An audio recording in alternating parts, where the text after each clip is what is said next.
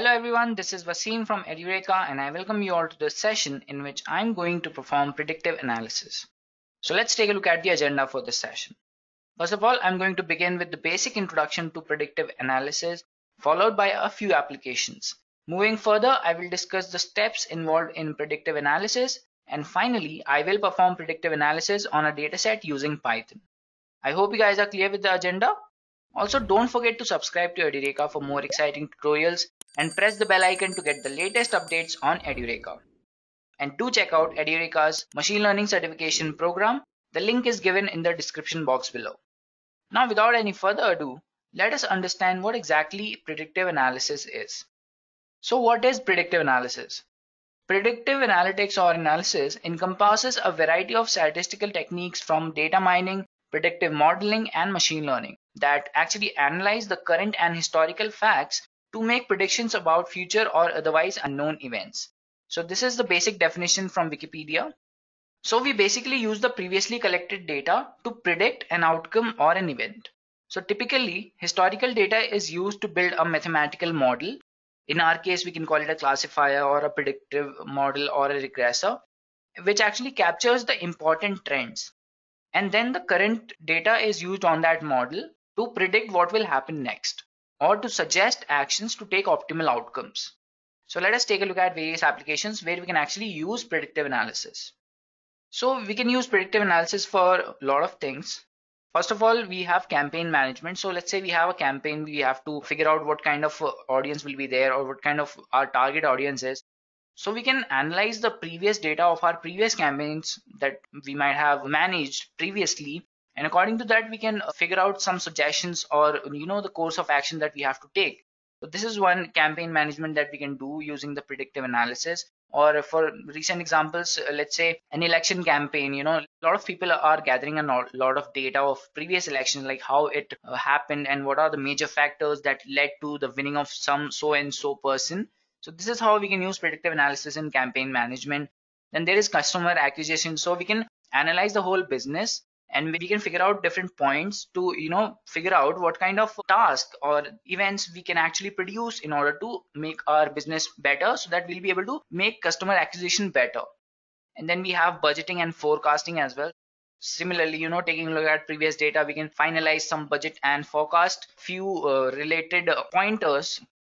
For example we have stock prediction using python or any other language such as r also and then we have fraud detection so we can you know manage a lot of data. Like for credit card companies they make use of uh, hundreds and hundreds of users and they analyze the data to predict or you know detect the fraudulent transactions in their data.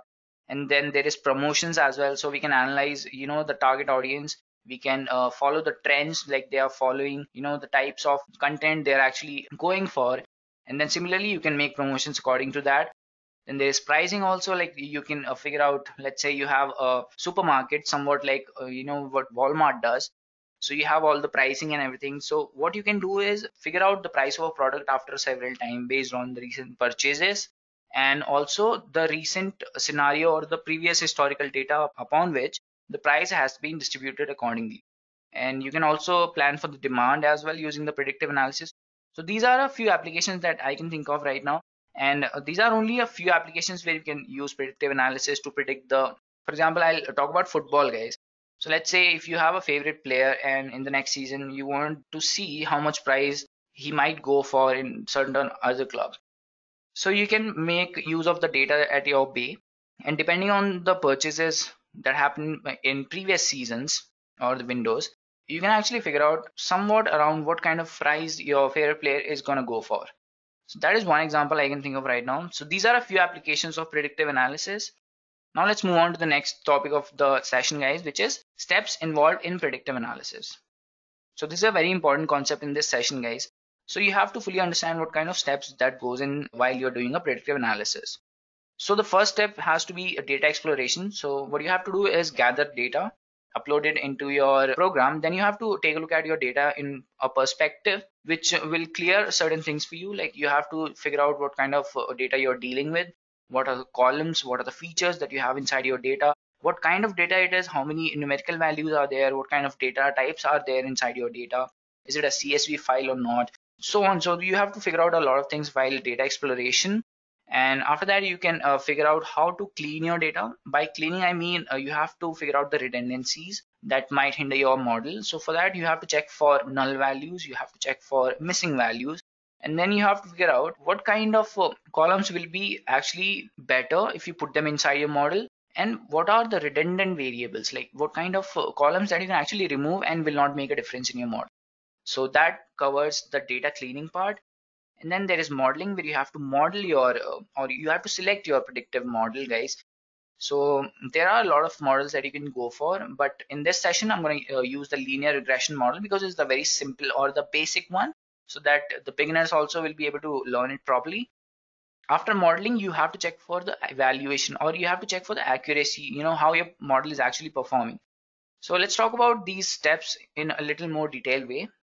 So we'll talk about data exploration first of all as I've already told you, data exploration is gathering your data and then taking a look at your data in a perspective that will clear a lot of things. For example, you will be able to see the number of columns, number of rows. You will have a description of all the data types, what kind of variables are there. You will have the mean values, the average values, minimum values, and uh, you can also check for unique values in your columns as well. So, so this all comes in data exploration and after this, the second step is data cleaning. And I've already told you guys, data cleaning is basically getting rid of uh, redundancies in your data, which includes the missing values, which may hinder. And you have to make sure that your model is not going to cause overfitting or underfitting due to the noise. And noise is basically irrelevant data that may be in the form of null values. So you have to make sure you get rid of them or replace them with average values in the column and then there is redundancies like outliers which are not necessarily required in your model so you can remove them as well. So this is all about data cleaning. And then we have the third step which is modeling. So for data modeling first of all you have to understand the relationship between the variables in your model so that you'll figure out what kind of model you're going to go for. So for example if let's say if you have a target variable in our case which will be a price of certain goods so let's say you have to figure out the relationship between variables. So if you're going for linear regression you have to make sure the relationship is continuous. And let's say if you are going for logistic regression it is important that you go for continuous variables.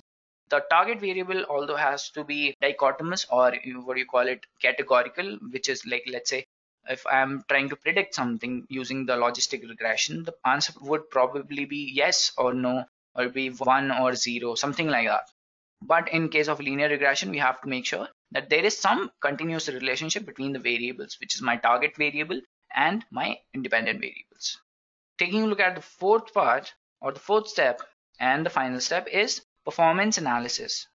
So after you're done uh, making a model, so you have to perform certain analysis, uh, which is, you know, checking the accuracy of the model, and making sure that it's above 70 i mean if you're a beginner and if you are uh, trying to make your first prediction model anything above uh, 70% uh, accuracy score is very good guys.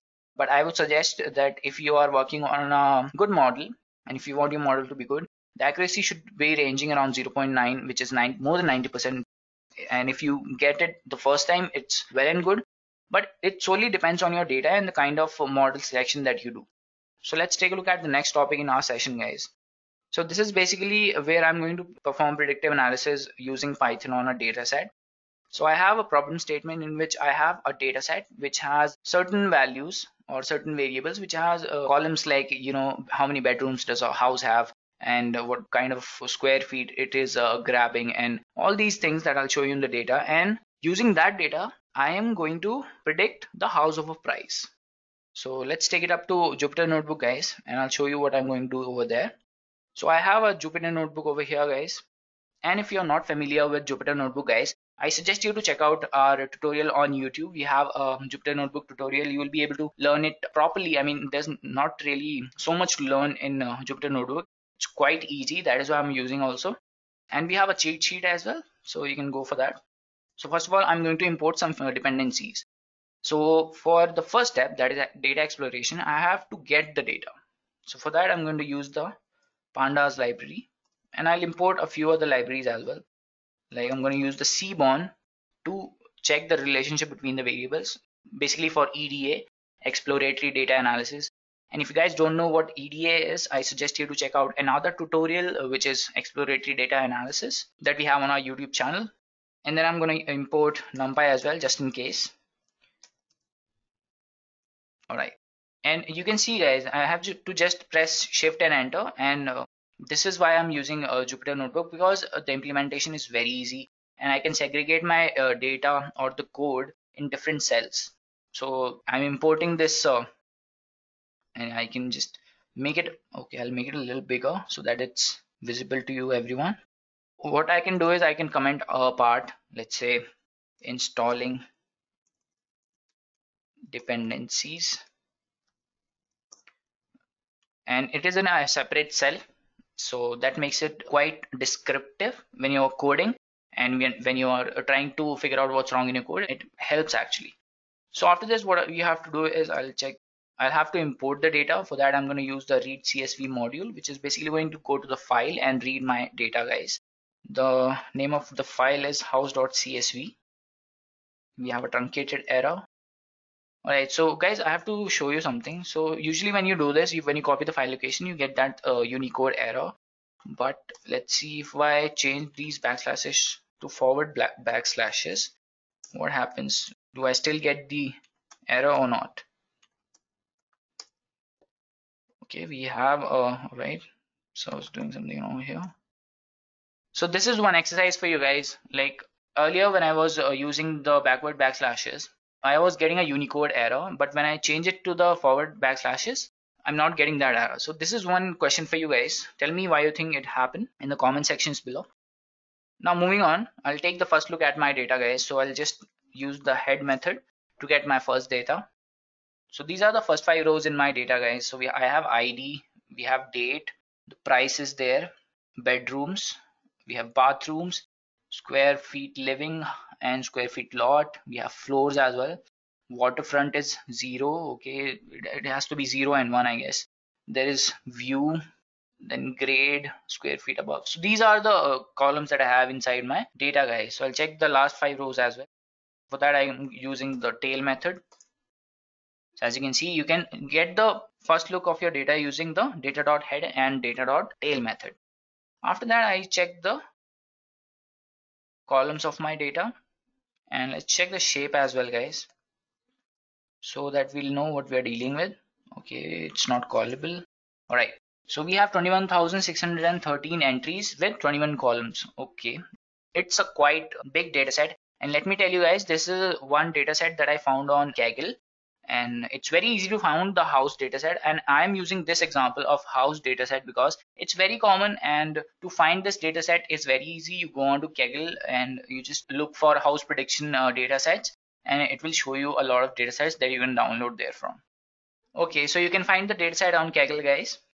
Now we have checked the shape as well. Okay I'll use one more method. That is data.describe all right this is callable. All right so we have all these numerical values and using the describe method we can get the 50% minimum maximum and the standard deviation. We can get the mean value and the count as well.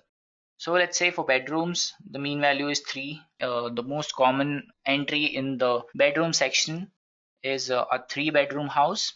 And then for bathrooms also is a two bathroom house. Square feet is almost 2079 square feet and then for maximum values we have even a 33 bedroom house as well. And we have a house with eight bathrooms. And the square feet is 13,540 all right. So minimum value is we have a zero bedroom house. Okay that's going to be something else. And square feet 290 so these this is how you use the describe method. And this is the first step guys. I am trying to do the data exploration. Now after this i think i'm pretty sure about what kind of data i'm dealing with now what I'm going to do, I'm going to move on to the next step that is checking for the relationship between these variables. So for that, I'm going to use the data visualization and I'm going to use a few, I'm going to use a few plot points using the Seaborn library. And if you don't know about uh, Seaborn, we have a YouTube uh, tutorial on Seaborn library as well. So you can find out different uh, kinds of uh, plots that you, you can use for data visualization. And data visualization is nothing but it's a process where you can uh, visualize your data and you can try to figure out the relationship between the variables. Before that, I want to check for null values or missing values. because I don't want to uh, get any hindrance in my data set while I'm modeling. So first of all, you have to do check for null values and let's get a sum as well. So we have zero almost okay. So we have no null values in this data set. So usually if you find a null value and if it's a big data set, and let's say if all these values are let's say 2000 and if you have 10 missing values you can just remove those 10 values. But if there are more null values I suggest you to replace them with the mean value. And to find out the mean value you can just go over here. Let's say if you have uh, let's say if you're checking for bedrooms how many null values are there? And let's say there are 500 out of 21,000 so you can just uh, replace the zero with this value which is 3 and similarly for any other column you can do the same using the mean value. So since there are no null values inside this data set because it's a very uh, clean data set that I downloaded it from Kaggle so we're going to move on to the next step which is visualization and mind you guys this is the step in my data exploration part and the data cleaning part not the other steps that we use for predictive analysis. All right. So I have no null values but there are a few redundancies that I want to get rid of. I'll talk about that later guys. First of all I'm going to use a relation plot. X I'll use okay so I want to check or my basic aim is to predict the price of the house. All right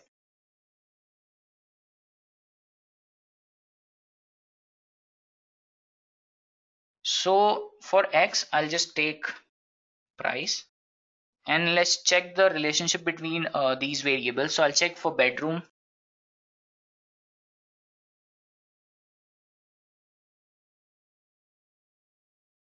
All right. Kind is equal to okay we'll not use kind. Data is equal to data. Okay all right so i think we can like almost there are so many i mean.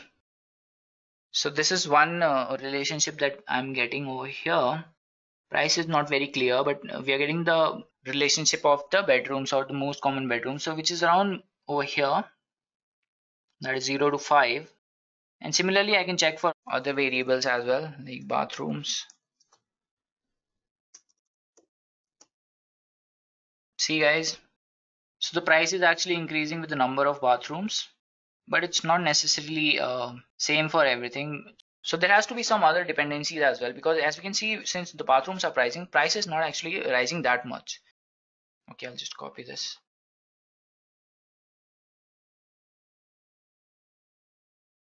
For bedrooms the price is actually increasing uh, pretty much with each bedroom I mean not really. If we take a look at uh, 10 bedrooms also the price is pretty much the same. So this is not one decisive factor I can think of for this. All right so we'll check for some other as well. So we'll check for square square feet living.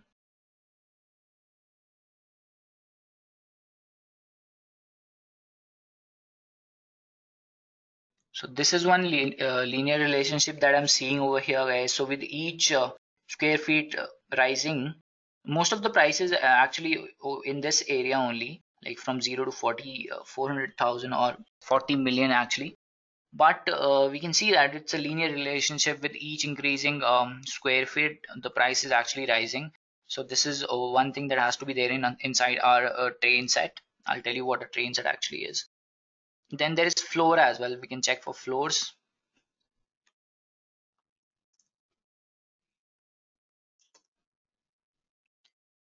all right Okay, so floors is actually uh, pretty descriptive over here. So for most of the values are in, in the two floors area and then we can check for waterfront as well. Okay, we can do one thing. I'll tell you one uh, trick. So we'll add the hue over here and this is going to be waterfront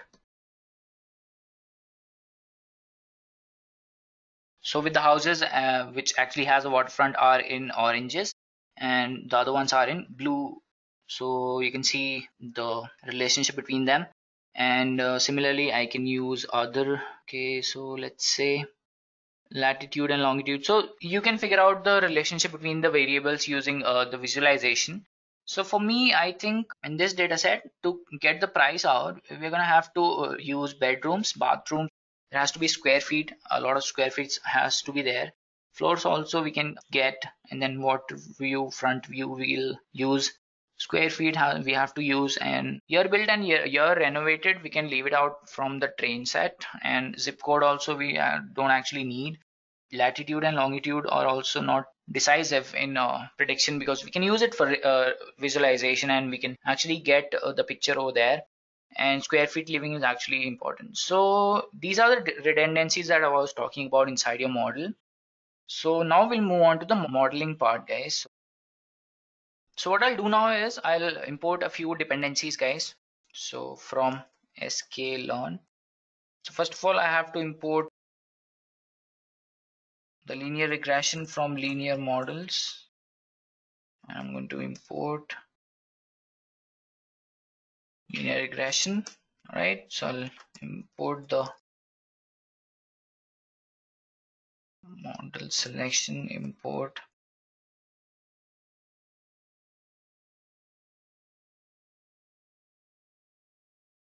test split all right? So first thing that I have to do is I have to segregate my data into a training set and a test set. So I'll do one thing guys right? So I'll get my data in this cell.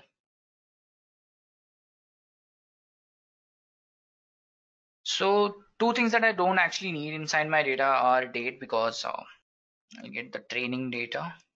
Or I'll write it as train. So which is going to be data and I'm going to drop a few columns. So I'll have to drop so I have to drop a few columns. So first of all I have to drop price because it cannot be in my training set since I'm gonna predict it and then there has to be ID we don't actually need it. And then I'm going to drop date as well. There's not really a prove a lot of things over here. So for now I'll just remove all these columns. And uh, for our uh, test set or the dependent variable let's say I'm going to take uh, the variable as a test let's say. And for this I'm going to use data dot or we need actually just one column that is price right? Method object is not subscriptable. I'm sorry I made a syntax error over here guys. I have to add the axis as well. Now it's fine guys. So now what I will do is I'll use I'm going to segregate my data into X train, X test, Y train, and Y test. And now I'm going to use the train test split method. So first we have train, then we have test, we have test size, which is let's say 0.3, and we have the random state is equal to let's say 2 right so we have made our train and xtrain method. Now I'll use one variable let's say regr regressor and now I'm going to call my linear regression model. It's made guys. So now I'm going to use the fit method to fit my x train and x y train data guys. The training data I have to fit. Right we have no errors here guys. After this I can just uh, okay I'll take one variable let's say predict and regr dot predict x test and y test. All right wait a second guys. I'm sorry. So now the modeling part is done guys. So I'll explain what I've done over here. I took uh, the linear model which is linear regression. And then for segregating my data into training and testing set, I'm using the train test split. Before that, I segregated the data for my model inside which I'm using the training set, which has all the values from the data set except price, ID, and date. So I've removed these three columns because I thought these are redundant for my model right now. And the variable that I'm going to predict over here is uh, the price. So I'm taking that alone so after that i use the train test split method to actually uh, separate the data into training and test set and then I call the linear regression model over here using the regression model I'm fitting the training data after that I am using it to predict a value. So now comes the part where we have to check the efficiency of the model. So for regression models it is very easy guys. You can just uh, check the score. For this you have to provide a few values x test and y test. And we have the accuracy of 0.70 which is not bad guys. If you're using the uh, model or the data set this big it is uh, quite uh, predictable get this kind of accuracy but you can do something else to improve the accuracy. I mean uh, you can look at the data and remove all the values that you find will help you into improving your accuracy. Like you can remove latitude longitude you can remove zip code year renovated year built that you can uh, actually remove waterfront and view as well. Or keep only a few values that you actually need which is bedrooms bathrooms i think and everything related to square feet that if you keep in your uh, training set then it's going to be a higher accuracy for you guys all right so now that we are done with the session guys i want to give you a exercise sort of which you can do for practicing this so I have used the linear regression model over here. So I want you to do one thing guys, check out other classifiers and regressor models that you can use to predict a value. I mean, we have a tutorial on all of them on our YouTube channel and see if you can use the same data to make a, a prediction model using other classifiers like a random forest classifier. Then we have a decision tree, then you can use the logistic regression for this as well. I mean, if you have continuous data, then you can go for linear regression but if you find a categorical data let's say we have waterfront or not so you can check for that as well so now that we are done with the session guys don't forget to subscribe to Edureka for more exciting tutorials and press the bell icon to get the latest updates on Edureka. And check out Edureka's machine learning certification program. The link is given in the description box below. And if you have any questions, you can mention them in the comment section below. Thank you. I hope you have enjoyed listening to this video. Please be kind enough to like it and you can comment any of your doubts and queries and we will reply them at the earliest. Do look out for more videos in our playlist and subscribe to Edureka channel to learn more. Happy learning!